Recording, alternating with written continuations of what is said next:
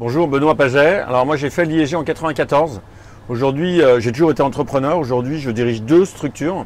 La première, Cannibal, que j'ai créée il y a une dizaine d'années, euh, qui fait du recyclage de tout ce qui est canettes, bouteilles, gobelets. La seconde, Green Big, que j'ai créée il y a moins d'un an et demi et qui développe euh, une, solution assez innovante sur la collecte et le recyclage des bouteilles plastiques spécifiquement, avec un modèle économique assez révolutionnaire qui permet de financer l'ensemble du process par la revente matière.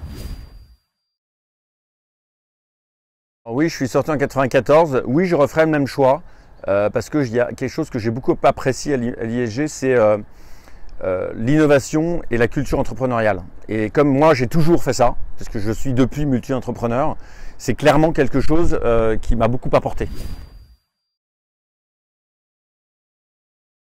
L'évolution de l'IAG vers ce programme en 5 ans est pour moi une bonne idée parce que ça permet de scinder le programme en deux, fois, en, deux périodes. La première qui permet aux étudiants de réfléchir et de commencer à, leur spécialisation euh, des trois dernières années, ce qui évidemment euh, permet d'avoir quelque chose de à la fois plus homogène et plus fluide sur la durée, mais qui permet, de ne pas s'enfermer dès le départ dans quelque chose de très spécialisé.